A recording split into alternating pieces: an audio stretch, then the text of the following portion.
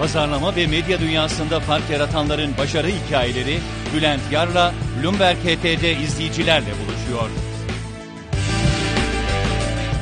Bana Hikayeni Anlat'ta Ed Koloni Genel Müdürü Volkan Biçer, yoğun rekabet içinde strateji oluşturma ve karar verme aşamasında yaşadığı tecrübelerini Bülent Yar'a anlatıyor.